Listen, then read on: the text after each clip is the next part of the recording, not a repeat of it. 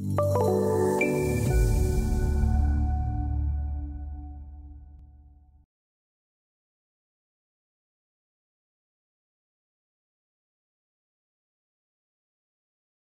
order to start a building model, a designer must set up their design environment by creating a new workset and design file. In this course, you will actually build a 3D BIM model of a small transportation station shown in the design sketches here. In this first session, you will learn how to create a new workset for your design project and then create a new design model to start the project. So let's start Open Buildings Designer.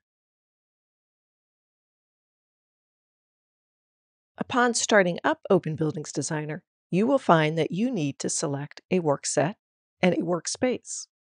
Every file created should belong to a workset, basically a set of files and folders that all belong to the same project.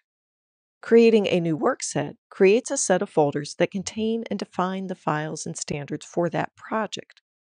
Every workset will belong to a workspace that defines common standards for all the projects in that workspace. Select the workspace that you created when you installed the course dataset. Open Buildings Training. There were two worksets installed along with the workspace the Learning Open Buildings Designer US and Learning Open Buildings Designer NM. You will create a new workset using one of these worksets as a template. One is in US units, feet and inches, the other is in metric units, millimeters. Choose the units you prefer to work in.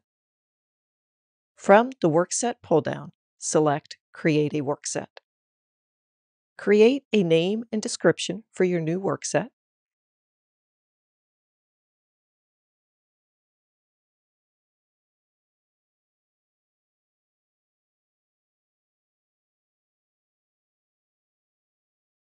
Then select the template that you wish to use and select OK. A new workset is created with all the necessary folders, subfolders, and library files. Now you will create a new design file so that you can start to model the building. Open Buildings uses a federated approach to the building model, meaning that any number of models can be referenced together to create the completed building model. Typically, each discipline will have a separate model, and those may be further divided by floors and systems, allowing multiple team members to work on various parts of the model at the same time. Now, this station is a fairly simple building with only one floor, so we will only create two models, an architectural model and a structural model. We will start with the architectural model.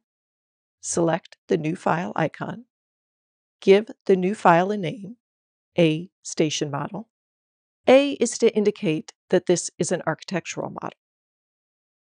Whenever you create a new file, you will want to pay attention to the seed file used to create the new file. Select the Browse button. There are three basic seed files in Open Buildings Designer. A design seed, used for 3D design models, a drawing seed, used for 2D drawing files, and a sheet seed, used for sheet files set up with a border sheet for plotting.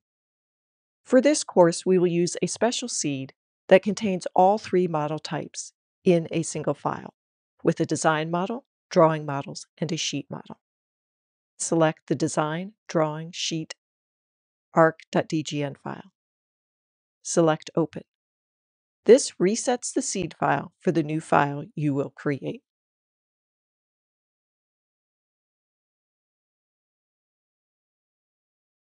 We are currently viewing the design model. This is where you will build the 3D model of the station building. As mentioned earlier, this DGN file contains additional models for several drawings and a sheet. We will explore these later. For now, we will focus on the 3D model. In this session, you have learned how to create a new workset for your project and create a new DGN model file using a seed file. In the next session, we will review the ribbon interface.